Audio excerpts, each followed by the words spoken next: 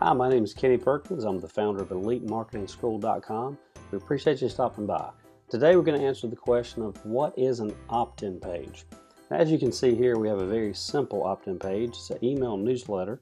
You just enter your email address, you click on the join it's free button, and that person or that company will continue to communicate with you by sending you emails. So that's what an opt-in page is all about, communicating with the person on the other end for their product or their information.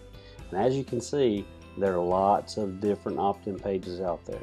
Lots of different ways you can communicate. Here's another one. This one looks pretty cool. Um, product launch formula. Ta-da! Okay, so guys, there's a lot of different opt-in pages out there. Again, simply it's a way to communicate uh, for you to connect with a person on the other end or the company on the other end uh, by putting in your email address and your information. And some of them are a little more detailed. So check this one out. This one's definitely more detailed. I would have to blow that up for you to really see it, but they want a lot of information on that one. So that's what an opt-in page is. Hope you've enjoyed this video. Appreciate you stopping by and we'll see you next time. Bye-bye.